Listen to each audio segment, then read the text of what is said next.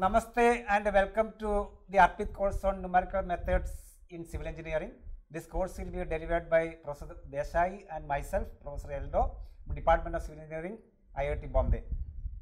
So, as all of you know that in civil engineering, we need to do variety of modeling. So, it can be design and uh, modeling of a building or it can be a bridge or it can be river hydraulics modeling. So, all these engineering problems like civil engineering problems we need to do one way or another way modeling. So, the main objective or the course objectives as far as this ARPIT course is concerned to develop a sound understanding of the various numerical techniques, principles and application to civil engineering problems. So, though this course is valid for all engineering as a numerical method, but we are mainly concentrating on civil engineering.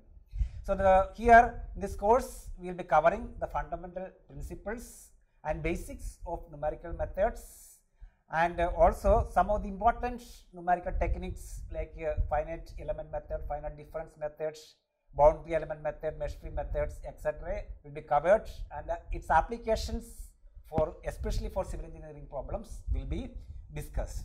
Okay. So, further to what Professor Eldho said, we have a physical system.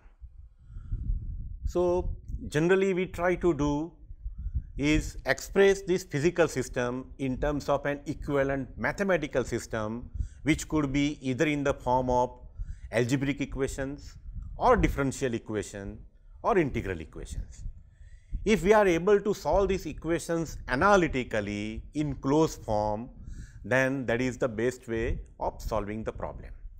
Unfortunately, because of the complexities in domain, material properties, boundary conditions and external disturbances, in most problems we are not able to get analytical solution. Therefore, these equations we have to solve numerically. So, we are going to cover some aspects of how to handle a given physical problem numerically in this course on numerical methods as applied to various disciplines of civil engineering. In order to make this uh, learning process more efficient, we have devised the course content into number of modules. So, depending upon the learner's requirement or desire, they may go directly to the relevant module of their interest. So, in module 1, what Professor Eldho discussed, we will be covering mathematical modeling, uh, where essentially the tools and the techniques generally in vogue uh, for modeling and also we will talk about some advanced modeling applications. In module 2 and module 3, essentially we will be setting the platform for applying full fledged numerical methods. In module 2, we will talk about the numerical approximation error analysis. Now, you see since we are talking about numerical methods, the very word suggests that we are talking about approximation. So, with each method we have its own set of approximations or errors. So, we have to be aware of these errors and how to minimize them. How the errors propagate through our computation and what are the bounds on the errors. So, these are some of the questions we must have answer to before we can use these results with confidence. Uh, so, that is what we are going to cover in module 2, where we will also lay down some foundation blocks that will be used in solving full fledged equations.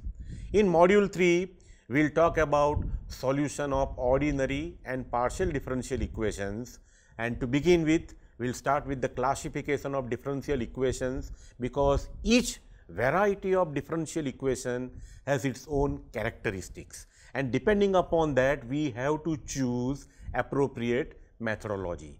Whether we are dealing with initial value problem, boundary value problem, boundary initial value problem or characteristic problem, we have to understand the essence of these equations and then work with the solution of the same. So, that is what we will be covering in module 3.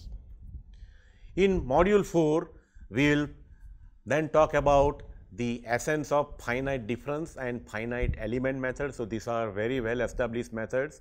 So, the pros and cons, the applicability, do's and don'ts Those are the things we will be discussing in module 4.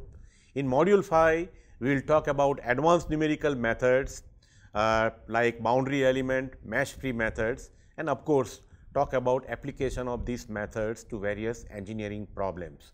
So, overall we will have about 20 hours of lectures, 20 hours of tutorial projects and handout so that we have effective learning. When you go through this course, you will have better understanding of various numerical methods. You will have good exposure to the methods in performing tasks such as interpolation, differentiation, integration and solution of different types of equations. You will acquire an ability to apply such methods to get approximate solution to various mathematical problems in the domain of civil engineering. Also, you will have ability to analyze and evaluate accuracy of various numerical methods along with uh, the cases where they can be applied and you will have exposure to well established and advanced numerical methods as a part of this course. And uh, some standard textbooks that we will be referring to in addition to some other research materials. So, that is uh, what uh, we have to say about this course. We are very confident that this course will be very helpful to teachers, students as well as practicing engineers. Thank you.